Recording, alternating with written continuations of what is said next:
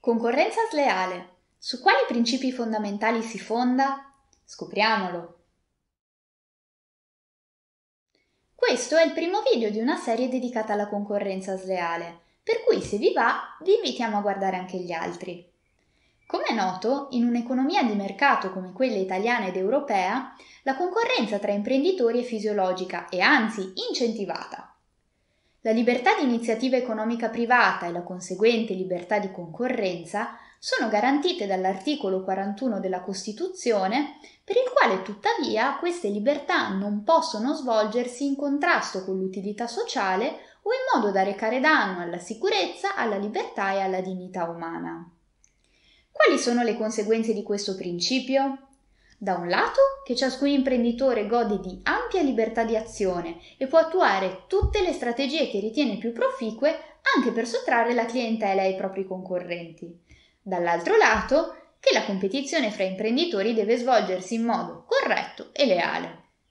Nulla vieta che la competizione sia anche particolarmente serrata, come detto, il nostro sistema economico è basato sulla libera concorrenza, per cui non tutela l'interesse degli imprenditori a conservare la clientela acquisita. Si pensi al caso di sottrazione della clientela da parte di un concorrente. È evidente che l'imprenditore subisca un danno, ma tale danno non è ingiusto e risarcibile se la competizione si è svolta in maniera leale.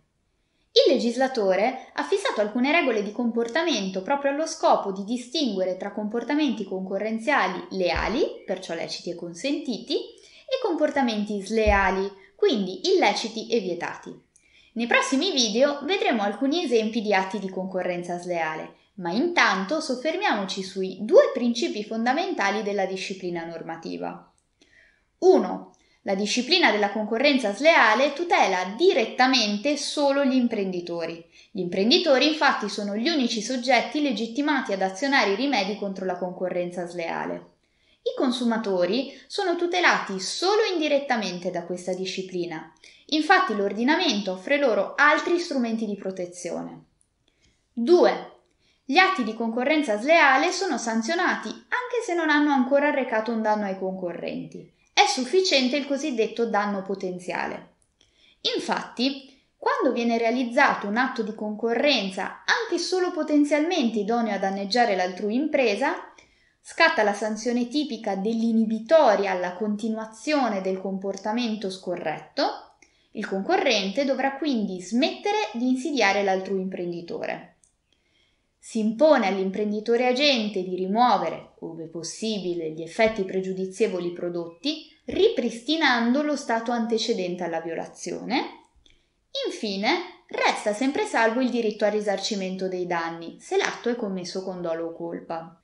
Ciò che si vuole tutelare, insomma, è l'interesse generale al corretto funzionamento del mercato, così come assicurato dal gioco della concorrenza, che potrebbe essere messo in pericolo da pratiche commerciali scorrette. Ma quali sono in concreto i comportamenti che integrano atti di concorrenza sleale?